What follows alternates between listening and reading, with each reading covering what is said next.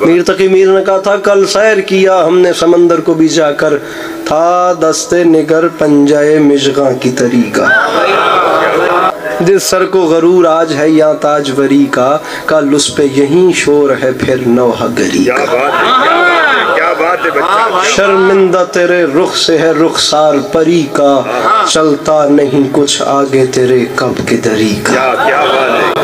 ہے۔ بچہ میر تقی میر فرماتے ہیں آفاق کی منزل سے گیا کون سلامت؟ اچھا۔ اسباب لٹا راہ میں یا ہر سفری کا۔